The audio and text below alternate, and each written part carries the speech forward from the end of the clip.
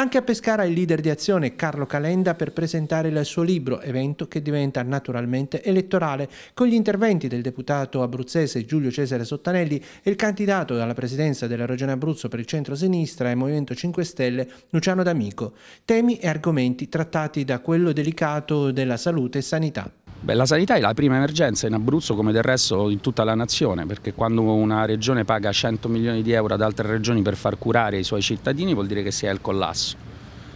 E la prima cosa da fare a livello nazionale, come noi proponiamo da quattro anni, è di mettere ogni euro disponibile sulla sanità, perché noi siamo un paese di anziani che non si possono curare. E dall'altro lato quello che noi diciamo è che le nomine a livello regionale di chi gestisce la sanità vanno fatte con un concorso pubblico fatto sul merito e le capacità e non politicizzato. E io credo che oggi eh, Luciano D'Amico ha dimostrato di essere capace di farlo, lo ha fatto nell'azienda di trasporti, l'ha fatto come rettore dell'Università di Teramo che ha portato ad essere la seconda in Italia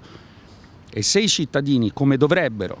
votano sulla base delle competenze, beh io credo che non c'è la partita in questa regione. In platea tanti amministratori e politici del centro-sinistra abruzzesi, la società civile e Carlo Costantini, candidato sindaco di Pescara Espressione di Azione, capace di fare sintesi e polo di attrazione per il centro-sinistra, Movimento 5 Stelle e Civiche. Sono molto contento, anche in questo caso Costantini ha esperienza amministrativa, perché il problema dell'Italia e dei comuni e delle regioni è che le persone possono essere di destra e di sinistra ma non riescono a far accadere nulla, persino no, persino non riescono a spendere i soldi come vediamo col PNRR. Dunque l'unico modo di cambiare la politica in Italia è mettere persone che abbiano esperienze gestionali e amministrative rilevanti.